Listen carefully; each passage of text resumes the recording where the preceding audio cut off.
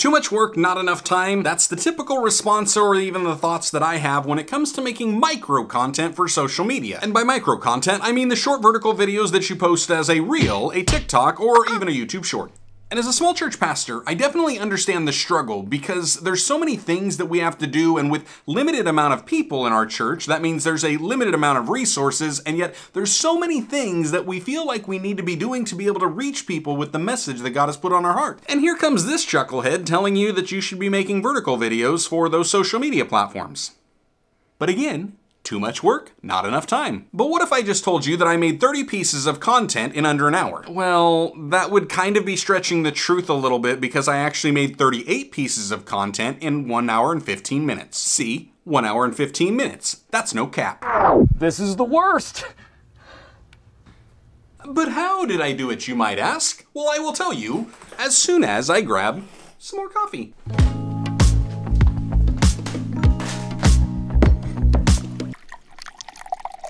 Yes, I know I could have used any of these, but I didn't want to.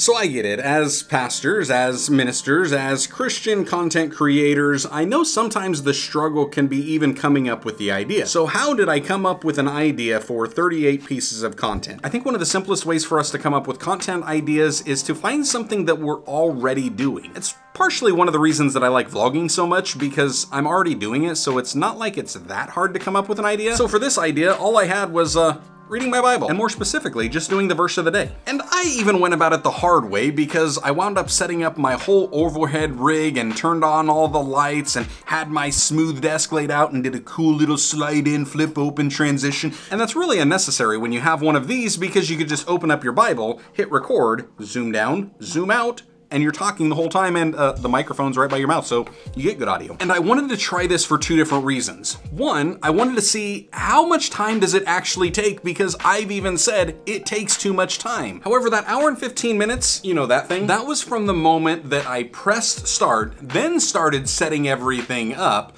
then recorded the whole thing, and then went to Premiere Pro and actually edited. Now that's not entirely true because I did hit pause at one moment after I had uploaded everything already in to Premiere. I started recording a training video because I'm gonna have my daughter actually do this editing going forward, and I would imagine there's somebody that you've got at your church that you could probably just ask if they have, I don't know, say 15 minutes a week to be able to record edit and upload uh, vertical videos. I mean, we're, we're, just talking about one person. And then after I was done recording that training video for Micah, I just pressed resume on the stopwatch, finished editing the other 38 pieces of content, and then hit stop. 1 hour, 15 minutes, 53 seconds. And if you happen to be wondering, how am I able to post the verse of the day that I have pre-recorded and edited for over a month, and yet they happen to coincide with the YouVersion Bible app? Well, did you know that the YouVersion Bible app is from Life Church, and Life Church has the open network where they provide a bunch of resources? Resources such as a verse of the day image. And I get that this looks easy and it's because it kind of is, because it's something that I'm already doing. I'm already reading my Bible daily, especially that verse of the day I'm reading. And there's a lot of other things that we as Christians do daily that could be an encouragement, a benefit, a source of spiritual inspiration for others out there on the interwebs. I mean, just one other thought off the top of my head. Do you pray? Imagine the impact that it could have if the people on the internet had us praying for them and they could actually hear that we weren't just praying for them, we were praying with them. Oh, and you thought I was done with this video? Wrong! Because here's the thing that we're not even considering. What kind of an impact can this two minutes a day actually have? Well, let me show you the back end of what I did on Instagram. I've been uploading these daily since June 23rd, and here's what it looks like in the past 30 days. I wanna scroll down to the Instagram reach and the discovery because that's the section that I really care about more. I care about that because I wanna know this two minutes a day that I'm putting in to create these videos, how far is that reach going? How far is the Word of God reaching people? how many people is it reaching? And if you look at the reach for this account over the last 30 days, even taking out these first 10 days, it's reached well over a hundred thousand people. I say people because if you click on this information, it says this is the number of unique accounts that have seen any of your posts.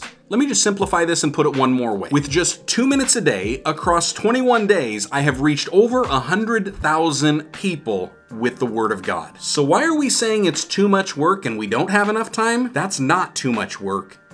And we do have two minutes of time. I spend more than two minutes making coffee every day.